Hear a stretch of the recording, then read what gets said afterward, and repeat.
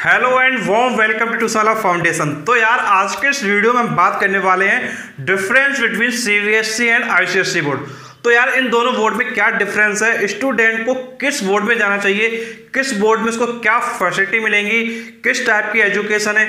तो यार as a teacher मैं तुमको बताना चाहूँगा यार, जो मेरा एक्सपीरियंस है स्टूडेंट्स के साथ, वो सारे पॉइंट्स मैं तुम्हारे साथ शेयर करना चाहूँगा। तो यार, इस वीडियो को तुम पूरा देख रहे हो, इस वीडियो में तुमको प्रॉपर इन्फॉर्मेशन मिलने वाली। चलिए वीडियो स्टार्ट करते हैं। तो देखो, सबसे पहले बात ये आती है कि देखो सीबीएसई बोर्ड किसके लिए है और आईसीएसई बोर्ड किसके लिए है? तो यार, ये तुम्हारा क्या है? सेंट्रल गवर्नमेंट के द्वारा है और ये भी तुम्हारा सेंट्रल गवर्नमेंट का है। पर डिफरेंस ये कि भाई सीबीएसई तुम्हारा क्या है? गवर्नमेंट है और आईसीएसई तुम्हारा क्या प्राइवेट बोर्ड है।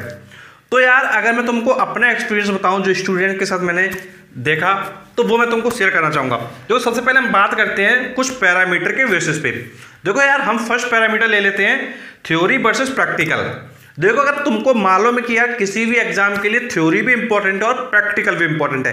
देखो, अगर हम आज की डेट में बात करें तो देखो, आज की डेट में जो सीबीएसई बोर्ड है, उसमें यार थ्योरी पर थोड़ा क्या ज़्यादा ध्यान दिया जा रहा है। बट यार प्रैक्टिकल पर उतना ध्यान नहीं दिया जा रहा है। बट जैसे तुम आईसीएससी बोर्ड की बात करते हो तो यार प्रैक्टिकल पर थोड़ा अच्छे से फोकस किया जा रहा है।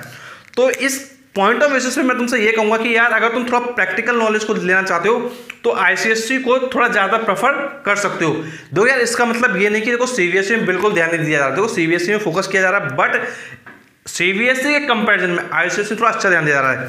देखो उसी प्रकार से जिस तरीके से जो स्टेट का बोर्ड होता है, उसमें क्या होता है कि यार तो लोकल लैंग्वेज में स्टडी होता है। बट यार सीबीएसई में कहीं ना कहीं तुम्हारे स्टेट लेवल बोर्ड से थोड़ा क्या अपग्रेड में पढ़ाया जाता है। सेम उसी तरीके से यार सीबीएसई से थोड़ा अच्छा क्या है, तुम्हारा आईसीएसई तुमको मिल जाएगा।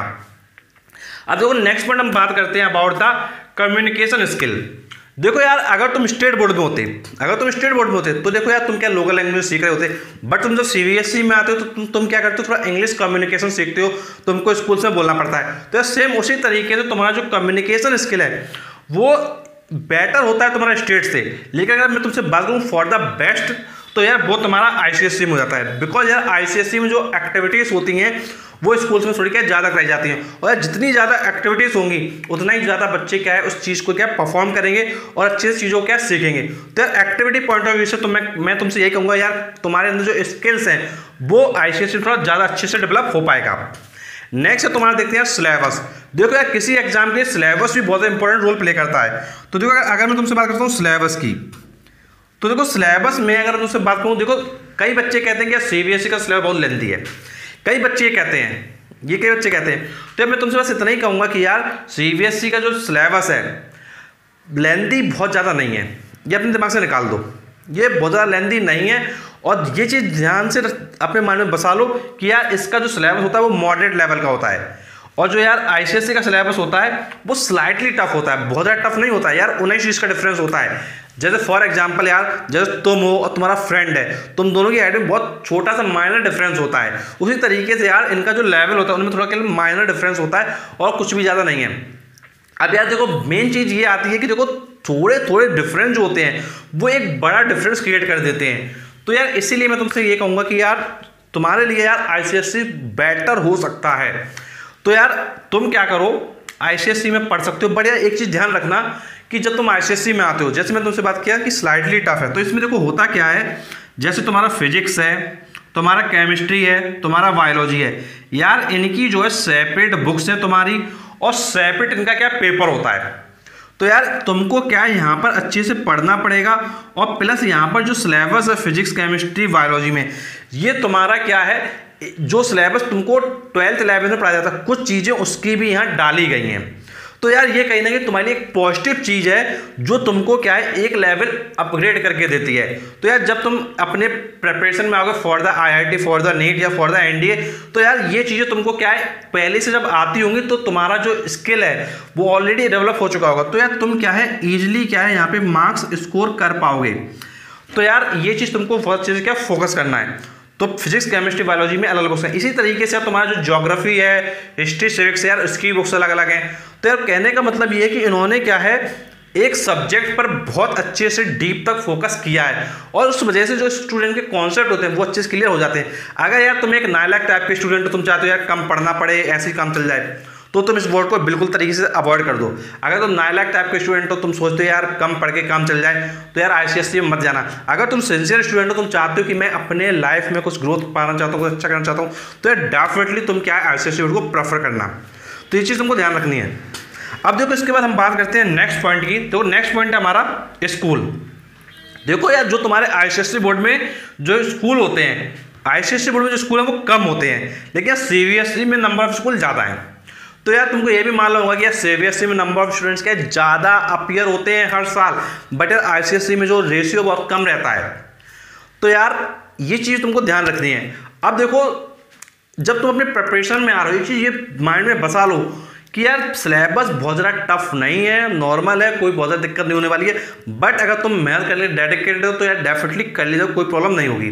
अब देखो नेक्स्ट पॉइंट हम बात करते हैं फ्यूचर एग्ज़ाम देखिए काफ़ी बच्चे ये कहते हैं कि सर मुझको जो है आईआईटी का देना है, नीट का देना है, या मुझे एनडीए देना है, या मुझे एयरफोर्स में जाना है, या मान लो कुछ भी आगे चल के और दूसरा कम्पिटेटिव एग्ज़ाम देना है तो यार उसके पॉइंट ऑफ़ व्यू से कौन सा बेस्ट रहेगा? तो देखो, मैं तुमको बताना चाहूँगा कि देखो फ्यूचर एग्ज़ाम के लिए सी भी सही है बट यार आई और भी सही है। देखो क्यों? देखो यार, तुम खुद सोच के देखो यार, जब तुम क्लास टेंथ के स्टैंडर्ड में हो, जब तुम क्लास टेंथ के स्टैंडर्ड में हो, मैं तुमको समझाता हूँ, देखो। थोड़ा एज करता हूँ, तुमको समझाता हूँ। तुम देखो, क्लास टेंथ के स्टैंडर्ड में हो, अब देखो, टेंथ में तुम्हारा एक सी है और एक तुम्हारा आई है। अब यार, तुमको आई में जो इलेक्ट्रिसिटी पढ़ाया जा रहा है और यार वही इलेक्ट्रिसिटी तुमको क्या सीबीएससी में पढ़ाया जा रहा है। लेकिन दोनों में डिफरेंस है। दोनों में डिफरेंस है। दोनों की इलेक्ट्रिसिटी में डिफरेंस है। डिफरेंस देखो क्या है। जब तुम सीबीएससी में आओगे तो यार नॉर्मल चीज़ें कराई जाएँगी। तुम्हारा नॉर्मल वे में होगा। बट जो तुम आईसीएससी में हो तो इलेक्ट्रिसिटी में यार कुछ चीज़ें ऐसी भी है जो तुम्हारे अलेवन ट्वेल्थ के हैं। और यार, जब तुम्हारी इलेवन ट्वेल्थ की चीज़ तुम ऑलरेडी जब पहले ही पढ़ चुके होगे तो यार कहीं ना कहीं तुम चीज़ों को आगे सी वालों से सीख रहे होगे। जो तुम सी वालों से एक स्टेप आगे हो तो यार तुम कहीं ना कहीं आगे ही निकल जाओगे। तो यार यही डिफरेंस होता है, यार थोड़ी थोड़ी चीज़ों में क्या डिफरेंस है? और इसीलिए यार कई लोग ये कह देते हैं कि आई का थोड़ा टफ होता है। देखो यार आई टफ नहीं होता है।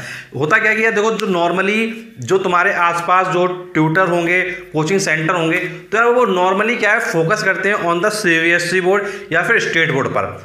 देखो यार, उनका रीज़न ये होता है कि जो सी के बच्चे हैं, वो ज़्यादा हैं स्टेट बोर्ड के बच्चे ज़्यादा हैं बट यार आई के बच्चे कम हैं तो वो उस बोर्ड पे ज़्यादा फोकस ही नहीं करते हैं। और उस चक्कर में क्या लोग कहते हैं, यार आई टफ होता है तो यार उसको नहीं पढ़ाते हैं। रीज़न वही होता है कि यार एक्चुअल में क्या है, देखो, बच्चे जब कम मिलते हैं, जब बच्चे कम मिलते हैं टीचर को तो फिर वो क्या है, उस चीज़ की तरफ़ नहीं जाना चाहता बिकॉज़ यार उसको भी अपनी कहीं ना कहीं अर्निंग करनी है, क्योंकि उसको भी अपना खर्चे डेली रूटीन के चलाने हैं। तो इस चीज़ को भी तुमको समझना है। तो यार, ऐसा नहीं है कि मतलब तुम्हारा बोर्ड बहुत टफ है, ऐसा कुछ भी नहीं है। बट यार, जो टीचर्स होते हैं, जब तुमको नहीं मिलते हैं तो कई बार क्या प्रॉब्लम होती है? अगर यार देखिए अगर आज आज की डेट में हम बात करें तो यार, आज की डेट में ये काफ़ी ज़्यादा ईजी है। और तुम यार आई के लिए पढ़ रहे हो तो यार, तुमको क्या है आसानी से तुम पढ़ सकते हो। अब एक चीज़ तुम्हें और बताना चाहूँगा। जब तुम बात करते हो कंप्यूटर सब्जेक्ट की, जब तुम बात करते हो कंप्यूटर सब्जेक्ट की, देखो कंप्यूटर में देखो क्या है।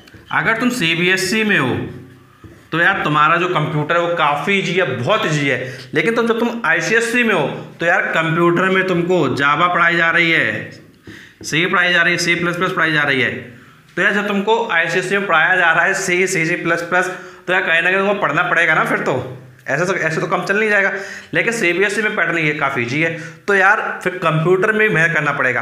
तो यार नाइन टेंथ का तुम कंप्यूटर देखोगे तो यार नाइन टेंथ के कंप्यूटर में तुमको अच्छा खासा दम मिलेगा।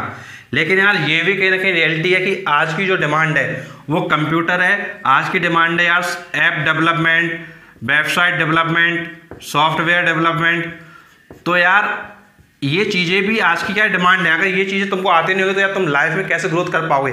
तुम क्या मालूम होगा कि यार पेटीएम का फाउंडर तुमने पेटीएम का फाउंडर के बारे में सुना होगा। तो पेटीएम का फाउंडर ने क्या किया कि अपना ऐप ही तो बनाया। ऐप बना के ही तो सारा काम किया बट यार जब तुम आते, कुछ तुमको आता ही नहीं हो, तुम क्या करोगे? तो यार कहीं ना कहीं तुमको अगर ग्रोथ पानी है एक अच्छे लेवल पे तो यार तुमको कुछ हटके करना होगा। अदरवाइज़ तुम क्या एक लोअर लेवल पर रह जाओगे। तो ये सारे पॉइंट तुमको समझना होगा कि यार तुमको कैसे, क्या और किस जगह करना है। तो यार देखो, जब तक तुम एक अपर लेवल की चीज़ें नहीं सीखोगे, तब तक यार तुम और लोगों से आगे नहीं निकल पाओगे। तुम ये खुद सोच के देखो यार, दो कैंडिडेट है, पहला कैंडिडेट है और ये दूसरा कैंडिडेट है। यार, ये कम जानता है, ये उससे भी ज़्यादा जानता है। तो यार, तुम किसको किसको लोगे कैंडिडेट को? तुम उसको तो लोगे जिसको तुम ज़्यादा जानते होगे। भैया, एक बंदा ये है, दूसरा बंदा ये पहला बंदा कम जानता है, कम नॉलेज है उसके पास। दूसरे बंदे के पास ज़्यादा नॉलेज है। तो यार, तुम अपने काम के किस पर्सन को लोगे, जिसके पास ज़्यादा नॉलेज है? तो यार, वही चीज़ हर जगह हिट करती है। तो इसलिए यार, मेरे पॉइंट ऑफ़ व्यू से मैं तुमको यही शेयर करना चाहूँगा कि अगर तुम्हारे पास ऑप्शन है about the C B and I C S C then तुम्हें चूज़ करना चाहिए I C S C board वो बोर्ड तुम्हारे लिए काफ़ी ज़्यादा बेटर रहेगा। और एक चीज़ ये ज़रूर ध्यान रखना पढ़ना ज़रूर। अगर पढ़ोगे नहीं तो यार कई बार क्या होता है कि बच्चे क्या है स्ट्रगल सफ़र करते हैं। स्ट्रगल सफ़र देखो क्यों करते हैं? पहला स्ट्रगल होता है यार बायोलॉजी में। जो मैं तुमको बताता हूँ, बिल्कुल रियलिटी आई बोर्ड के बच्चे बायोलॉजी में स्ट्रगल सफ़र करते हैं, उसके बाद जो है हिस्ट्री सब्जेक्ट है, उसमें स्ट्रगल सफ़र करते हैं, फिर तीसरा सब्जेक्ट तुम्हारा होता है यार कंप्यूटर और कंप्यूटर में सबसे ज़्यादा स्ट्रगल सफ़र करते हैं। जो यार कंप्यूटर की सबसे ज़्यादा स्ट्रगलिंग लाइफ होती है, क्योंकि यार कंप्यूटर में काफ़ी चीज़ें अच्छे लेवल पर पढ़ाई जाती हैं, और यार अगर तुमने पढ़े नहीं होंगी तो यार तुम अच्छे लेवल पर नहीं कर पाओगे। और यार, जब तुम टेंथ में नहीं कर पाओगे, या इलेवन ट्वेल्थ में तुम कंप्यूटर में क्या अच्छा करोगे फिर? तो इसलिए इस चीज़ को सीखना होगा तुमको तुमको अच्छे से पढ़ना होगा और देखो कंप्यूटर में एक चीज़ ये ज़रूर ध्यान रखना कि तुम रट्टा ना मारना। अगर तुमने सिर्फ़ रट्टा मारा तो फिर तुम दिक्कत में आ जाओगे। सिर्फ़ रट्टा नहीं मारना है। रट्टा मारने का मतलब है कि यार तुम कहीं ना कहीं पीछे रह जाओगे। तुमको यार जब तक ये चीज़ें आती नहीं होंगी, तब तक तुम ग्रोथ अच्छा नहीं पा पाओगे। ये चीज़ बहुत अच्छे समझ लो। तो यार ओवरऑल चीज़ें मैंने तुमको समझाया। कोई भी तुम्हारा डाउट है, कुछ भी चीज़ तुमको समझ में नहीं आती है, नीचे कमेंट बॉक्स से कमेंट करके पूछ सकते हो। And thanks for watching this video